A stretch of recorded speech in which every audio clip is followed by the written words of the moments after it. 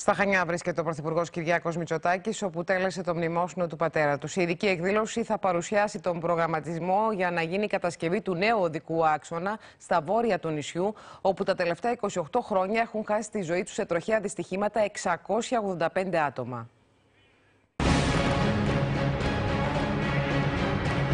Πρόκειται για έναν από τους χειρότερους δρόμους στη χώρα. Αποκαλείται ΒΟΑΚ, Βόρειος Οδικός Άξονας Κρήτης. Μόνο που δεν είναι αυτοκινητόδρομος ούτε εθνική οδός, αλλά δρόμος Καρμανιόλα. Τα νούμερα του ανθρώπου που έχει αφιερώσει όλη του τη ζωή ώστε να αλλάξει την οδική συμπεριφορά στο νησί σοκάρουν.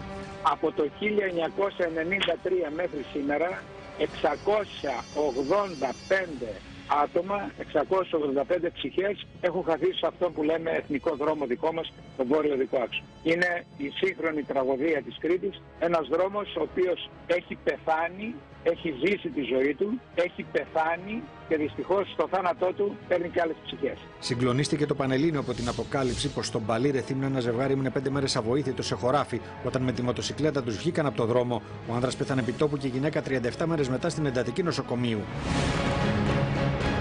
Ένα ανδρόγυνο απεγκλώβησαν νεκρούς οι πυροσβέστες από το διαλυμένο αυτοκίνητό τους και σοβαρά τραυματισμένη τη 12χρονη κόρη τους. Το τροχαίο έγινε στο Φόδελε. Ο ΒΟΑΚ σήμερα απλώνεται σε μήκος 313 χιλιόμετρων από το Καστέλι μέχρι τη Σιτία και μόνο τα 45 είναι σύγχρονης κατασκευής. Τα τελευταία χρόνια ο αριθμός των νεκρών έχει μειωθεί. Απόρρια και των προσπαθειών ευαισθητοποίησης του κόσμου. Μερικούς μήνες πριν στη Σούδα, δύο μοτοσυκλετιστές σκοτώθηκαν και τρία ακόμη άτομα τραυματίστηκαν μετά από σύγκρουσή τους με αυτοκίνητο. Δύο νεκροί και τέσσερις τραυματίες ήταν το αποτέλεσμα σφοδρών συγκρούσεων ανάμεσα σε δίκυκλα και αυτοκίνητα που έγιναν στον Άγιο Ραφαήλ και στο Καστέλι. Η οδήγησή μας έχει στοιχεία καπετανιάς, να το πω έτσι, σε πολύ μεγάλο βαθμό. Και έχει και ένα άλλο πολύ κακό στοιχείο, έχει το στοιχείο της κατανάλωσης ενοπνεύματος είναι δύο στοιχεία που χαρακτήρισαν και σε κάποιο βαθμό χαρακτηρίζουν ακόμη τον κριτικό που πρέπει να φύγουν από την οδηγική μας συμπεριφορά και την οδηγική μας συνείδηση. Η πολιτεία εμφανίζεται αποφασισμένη να προχωρήσει γρήγορα ένας νέος αυτοκινητόδρομος στο νησί.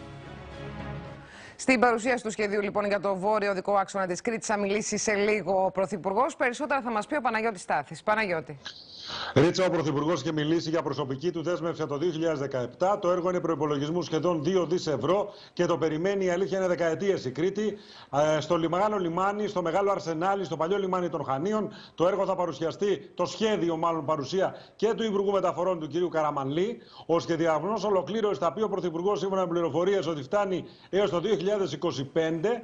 Το είναι 294 χιλιόμετρα και συγκεντρώνει περίπου το 80% της τουριστικής δραστηριότητας αφού διασχίζει όλο το νησί. Βεβαίως θα αναδείξει και το στοιχείο που είναι και το ζητούμενο της μείωσης, της αύξησης μάλλον της ασφάλειας, της οδικής ασφάλειας της Κρήτης. Ακούσαμε στο ρεπορτάζ το φόρο αίματος που έχουν πληρώσει κριτικοί σε αυτό το δρόμο. Να σου πω πάντως ότι ο ΣΥΡΙΖΑ με χθεσινή του ανακοίνωση επιτέθηκε στην κυβέρνηση αναφέροντας πως κοροϊδεύει τους κριτικούς αφού το έργο είχε σχεδιαστεί όπως λέει από την προηγούμενη κυβέρνηση και ουσιαστικά προχωρούσε κανονικά.